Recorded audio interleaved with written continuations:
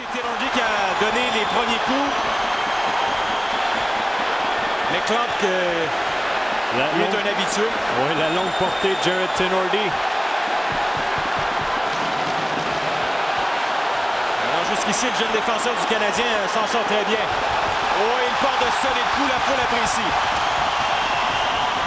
Très impressionnant. McLeod qui a acheté les gants lors de la dernière rencontre à Ottawa face à Chris Neal.